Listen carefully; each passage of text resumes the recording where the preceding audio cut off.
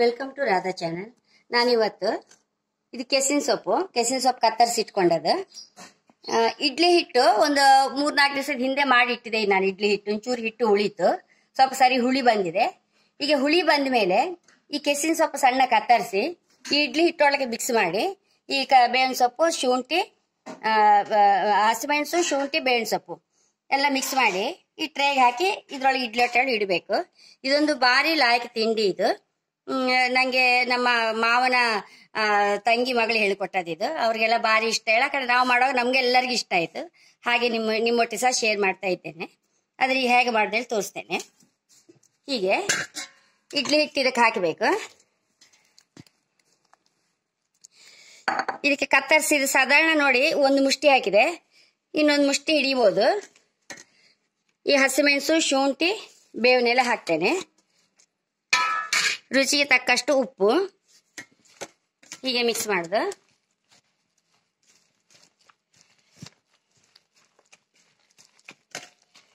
ಹೀಗೆ ಮಿಕ್ಸ್ ಮಾಡಿ.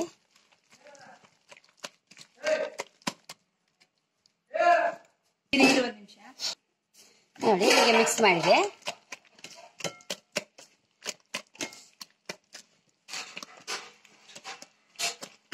ಸರಿಯಾಗಿದೆ. ಇದನ್ನ ಈಗ ಟ್ರೇಗೆ ಹಾಕ್ತೇನೆ.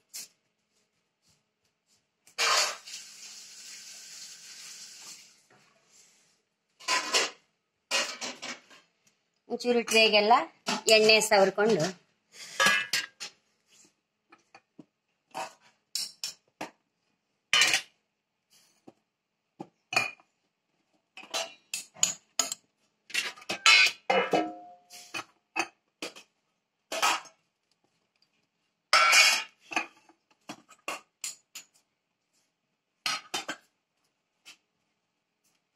ಇದೆ.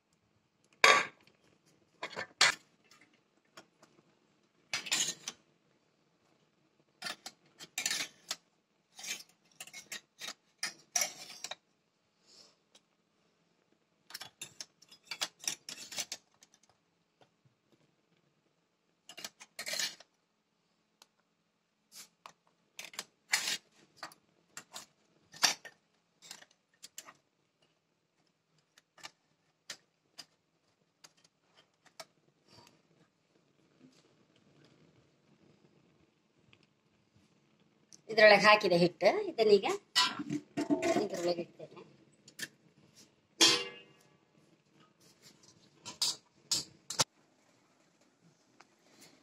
ಇದಾಗಿದೆ ಫ್ರೆಂಡ್ಸ್ ಈಗ ಅರ್ಧ ಗಂಟೆ ಆಗಿದೆ ಹಿಟ್ಟು. ನೋಡ ಏನಾಯ್ತಂತ.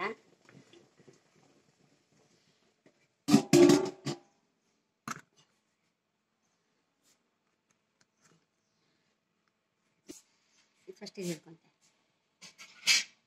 ನೋಡಿ ಫ್ರೆಂಡ್ಸ್ ಇದಾಗಿದೆ. ಮೇಯ್ನ್ ಇದಕ್ಕೆ ಹುಟ್- ಹಿಟ್ಟಂತೂ ಸರಿ ಹುಳಿ ಬರಬೇಕು. ಹುಳಿ ಬರದಿದ್ರೆ ಮತ್ತೆ ಬಾಯಿ ತುರ್ಸುತ್ತೆ ಮತ್ತೆ. ಬಾ, ಹಾಗೆ ಬಾಯಿ ತುರ್ಸಿ ಮತ್ತೆ ಎಲ್ಲರ ಹತ್ರ ಬಾಯಿಗಳು ತಿನ್ನೋದಲ್ಲ. ಸರಿ ಹಿಟ್ಟು ಹುಳಿ ಬಂದ ಮೇಲೆ ಆಮೇಲೆ ನಾವು ಇದಕ್ಕೆ ಹಾಕ್ಬೇಕೆಲ್ಲ. ನೋಡಿ ಕೆಸನೆಲ್ಲ ಹೀಗೆ ತಂದ ಮೇಲೆ ಇದ್ರದ್ದೆಲ್ಲ ಹಿಂದಿನದೆಲ್ಲ ತೆಗಿಬೇಕು. ಆವಾಗ ತುರ್ಸೋದಿಲ್ಲ ಅದು. ಈಗ ಹೈ ಕ್ಲಾಸ್ ಆಗಿದೆ. ನೋಡಿ, ಹಿಟ್ಟು ಒಂದ್ವೇಳೆ ನಿಮ್ಮ ಹತ್ರ ಫ್ರಿಜ್ ಅಲ್ಲಿ ಇಟ್ಕೊಂಡ್ರೆ ಹುಳಿ ಆಗುದಿಲ್ಲ ಅದು. ನೀವು ಇದು ಮಾಡುವ ಐಡಿಯಾ ಇದ್ರೆ ಮುಂಚಿನ ದಿವಸ ರಾತ್ರಿ ಹೊರಗೆ ಇಟ್ಕೊಂಡ್ಬಿಡಿ. ಮರು ದಿವ್ಸಕ್ಕೆ ಸರಿ ಹುಳಿ ಆಗ್ತದೆ. ಆಮೇಲೆ ಮಾತ್ರ ಮಾಡಬೇಕಿದು. ಸರಿ ಹುಳಿ ಬರ್ ಬರಬೇಕದು. ಆಮೇಲೆ ಮೊನ್ನೆ ಮಾಡಿದ ನಮ್ಮ ಮಾವನ ಆ್ಯನಿವರ್ಸರಿಗೆ ನಾನು ಹಾಲ್ ಬಾಯಿ. ಅದಕ್ಕೆ ಫುಲ್ ಮಾರ್ಕ್ ಸಿಕ್ಕಿದೆ. ಮಾವ ಹೇಳಿದ್ದಾರೆ, ರಾಧಾ ಹಾಲ್ ಬಾಯ್ ಭಾರಿ ಲಾಯಕ್ ಆಗಿದೆ, ಹೇಳಿದ್ದಾರೆ. ಅದರಿಂದ ನೀವು ಖಂಡಿತ ಮಾಡಿ, ಅದನ್ನು ಸಹ ಟ್ರೈ ಮಾಡಿ. ನನ್ನ ವಿಡಿಯೋ ಎಲ್ಲ ಖುಷಿ ಆದರೆ ಸಬ್ಸ್ಕ್ರೈಬ್ ಮಾಡಿ ಲೈಕ್ ಕೊಡಿ. Thank you